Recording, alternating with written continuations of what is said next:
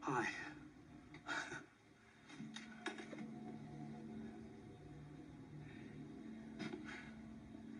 There's no place to go now, Adrian.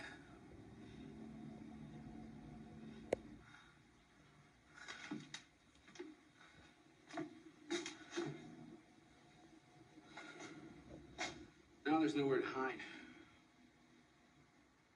I don't want to hurt you, Adrian. I never wanted to hurt anybody!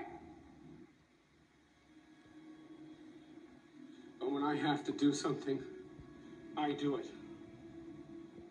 I always do whatever comes next, no matter how difficult it is.